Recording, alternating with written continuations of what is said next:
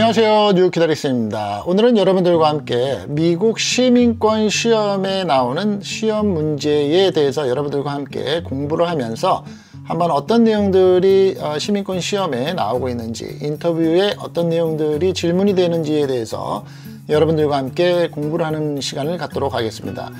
미국 시민권 시험에서는 물어보는 100개의 문제 중에서 인터뷰 질문에서는 보통 10개를 물어보게 됩니다. 어, 시민권을 신청하신 분은 10개 중에서 6개를 맞추어야지만 시민권 시험에 합격을 하시게 되죠.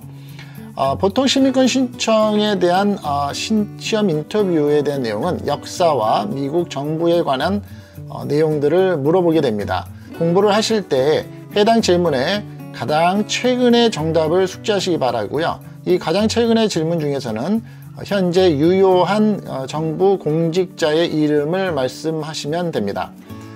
자, 여러분들은 어, 이 내용에 대해서 공부를 숙지하시고 또 영문이 필요하신 분들은 문제의 문항은 똑같기 때문에 그 내용에 대해서 미리 한번 테스트, pre-test를 하신다고 생각하시면 되고요.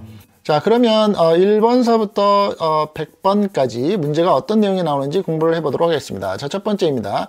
1번 국가 최고의 법은 무엇인가? 헌법. 답은 헌법이고요.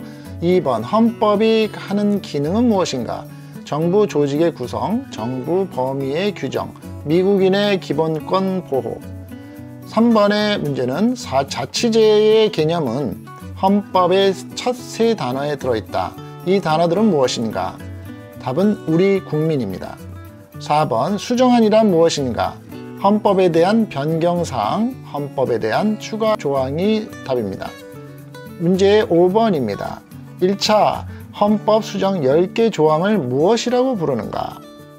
정답은 권리장전이라고 합니다. 여섯 번째입니다. 1차 헌법 수정안에 있는 권리나 자유 중 한 가지는 무엇인가? 어, 잡은 다섯 개가 있는데 언론, 종교, 집회, 출판, 정부의 청원입니다. 자, 이해가 되셨습니까?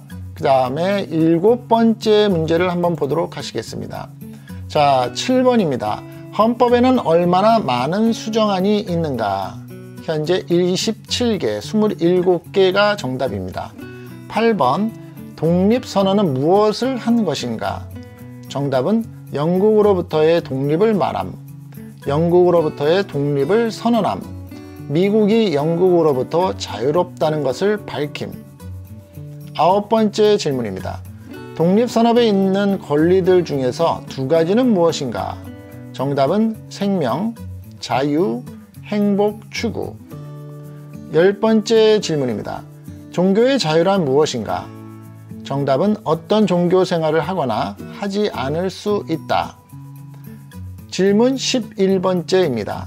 미국의 경제 체제는 무엇인가? 자본주의 경제 체제, 시장 경제 체제. 12번의 질문입니다. 법의 지배란 무엇인가? 정답은 네 가지가 있는데 모든 사람은 법을 따라야 한다. 지도자들은 법을 준수해야 한다.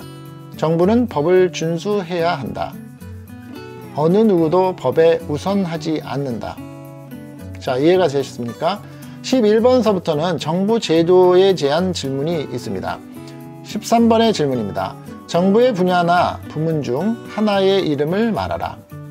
정답은 6개가 있습니다. 의회, 입법부, 대통령, 행정부, 법원, 사법부. 14번째 질문입니다. 정부의 한 부문이 지나치게 강력해지는 것을 막는 것은 무엇인가? 정답은 견제와 균형, 그리고 삼권 분립입니다. 15번째 문제입니다. 행정부를 책임지고 있는 것은 누구인가? 정답은 대통령. 16번째 질문입니다. 영방법은 누가 만드는가? 정답은 세 가지입니다. 의회, 상원과 하원, 미 연방 또는 국가의 입법부 17번째 문제입니다. 미국 의회의 두 부문은 무엇인가? 정답은 상원과 하원입니다. 자, 이해가 되셨나요? 다음으로 18번째 질문입니다. 미국 상원 의원은 몇 명인가? 정답은 100명. 19번째입니다. 미국 상원 의원은 몇 년 동안 선출되는가? 정답은 6년. 20번째 질문입니다. 당신이 사는 주의 미국 상원 의원 중 한 사람은 누구인가? 자, 이 질문에 대한 부분은 어, 시민권을 신청하러 가시는 분들이 현재의 미국 상원 의원이 내가 사는 주에서 누구이신가를 확실히 알고 가시면 됩니다. 답은 주에 따라서 다르기 때문입니다. 21번째 질문입니다. 하원에는 얼마나 많은 표결 의원이 있는가? 정답은 435명입니다. 22번째 문제입니다. 미국 하원 의원은 몇 년 동안 선출되는가? 정답은 2년. 23번째 질문입니다. 당신 지역의 미국 하원 이름을 말하라. 이 질문도 마찬가지로 20번째 질문에 상원 의원이 누구냐고 묻는 것처럼 현재의 주마다 다 다르고 현재 하원 이름에 대해서는 확인을 하고 꼭 가셔야지만 됩니다. 24번째 질문입니다. 미국 상원 의원은 누구를 대표하는가? 정답은 그 주의 모든 주민. 25번째 질문입니다. 어째서 어떤 주에는 다른 주보다 더 많은 의원이 있는가? 정답은 주의 인구 때문에 또 더 많은 사람들이 살고 있기 때문에 또한 어떤 주에는 사람이 더 많기 때문에 가 정답입니다. 26번째 질문입니다. 대통령은 몇 년 동안 선출되는가? 정답은 4년입니다. 27번째, 어느 달에 대통령을 선거하는가? 정답은 11월입니다. 28번째, 현재 미국 대통령의 이름은 무엇인가? 뭐 이것도 마찬가지로 확실히 현재 대통령을 어, 정확하게 first name, last name까지 알고 가시면 좋겠죠. 29번째, 현재 미국 부통령의 이름은 무엇인가? 마찬가지로 28번의 어, 문제인 것처럼 현재 부통령의 first name과 last name을 알고 가시는 게 좋습니다. 30번째, 대통령이 더 이상 임무를 수행할 수 없다면 누가 대통령이 되는가? 정답은 부통령. 31번, 대통령과 부통령 모두가 더 이상 임무를 수행할 수 없다면 누가 대통령이 되는가? 정답은 하원 의장. 32번. 군의 최고 사령관은 누구인가? 정답은 대통령. 33번.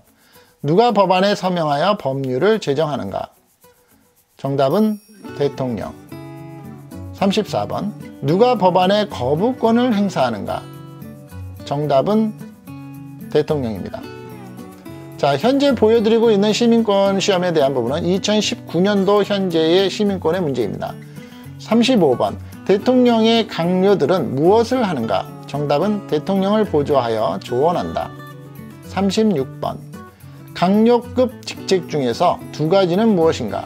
음, 이 전체적인 내용의 정답이 많은데 이 내용 중에서 생각이 나시는 두 가지를 말씀하시면 됩니다. 정답은 농무부 장관, 상공부 장관, 국방부 장관, 교육부 장관, 에너지부 장관, 보건복지부 장관, 국토안보부 장관, 주택도시개발부 장관, 내무부 장관, 노동부 장관, 국무부 장관, 교통부 장관, 재무부 장관, 보훈부 장관, 법무부 장관, 그리고 부통령입니다.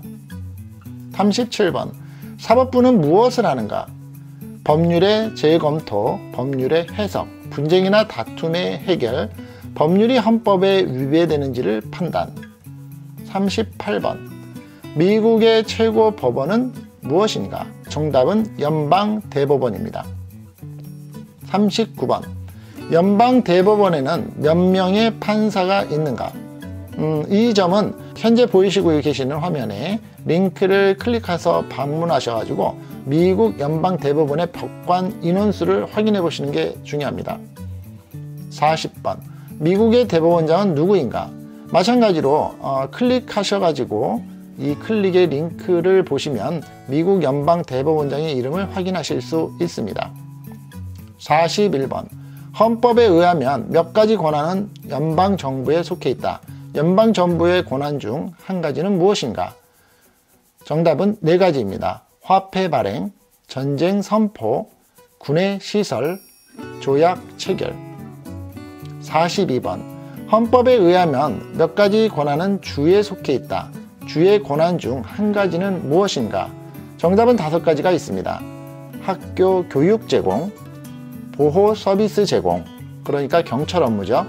안전 서비스 제공, 소방 업무입니다. 운전면허 발급, 용지 설정 및 토지 이용 승인. 43번의 질문입니다.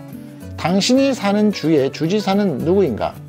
음, 마찬가지로 어, 주지사의 이름은 현재의 내가 살고 있는 주의 주지사가 누구인지 현재 상태를 확인하고 가시는 게 중요합니다. 자, 다음으로는 어, 44번부터 보시도록 하겠습니다. 44번. 당신의 사는 주의 수도는 어디인가? 어, 답은 해당 주에 따라서 다릅니다.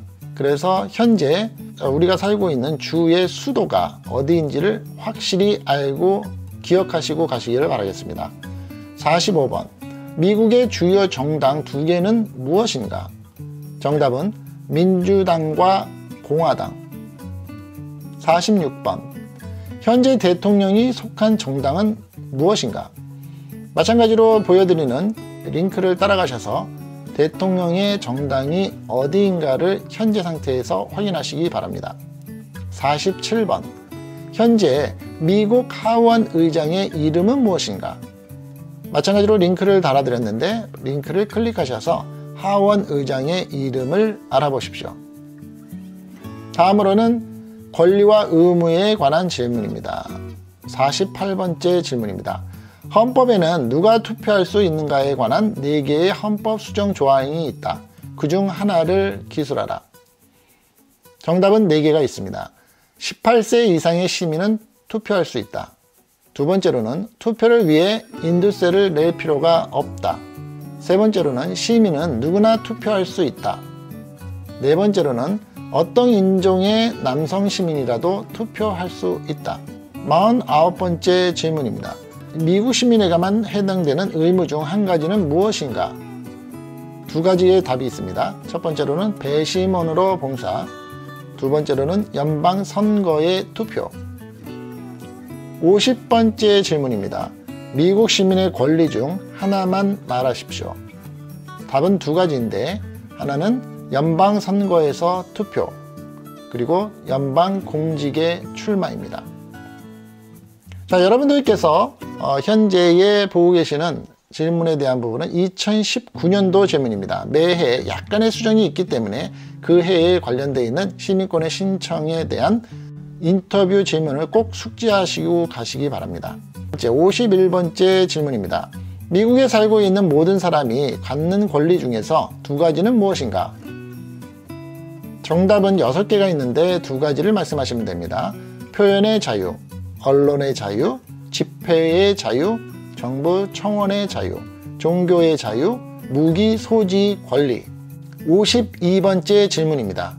충성의 맹세를 말할 때 무엇에 충성을 표하는 것인가? 정답은 두 개가 있습니다. 하나는 미국, 두 번째는 국기. 53번째 질문입니다. 미국 시민이 될 때 당신이 하게 되는 서약 중 한 가지는 무엇인가? 정답은 6개가 있습니다.